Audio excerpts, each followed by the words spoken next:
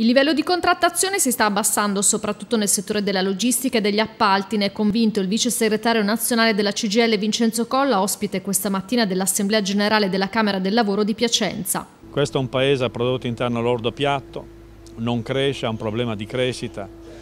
La Germania se prende un raffreddore noi prendiamo la polmonite e, e a PIL piatto non si crea lavoro se non facciamo un'operazione radicale keynesiana che è quello di, abbiamo di fare gli investimenti, di sbloccare gli investimenti pubblici. Colla è intervenuto anche sul caos della scuola che in questi giorni ha interessato anche la nostra provincia.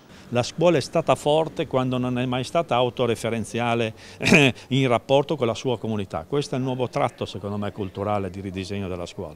Il vice segretario, che vede di buon occhio il nuovo governo perché ci sono punti che ci accomunano, dice ha parlato anche di svalutazione del lavoro. Noi abbiamo una bolla di povertà che si sta allargando lì dentro ci sono lavoratori di tutte le età che pur di lavorare sono disponibili a tutto, a condizioni incredibili. Lì dentro non ci sono diritti, si lavora in alcune condizioni incredibili.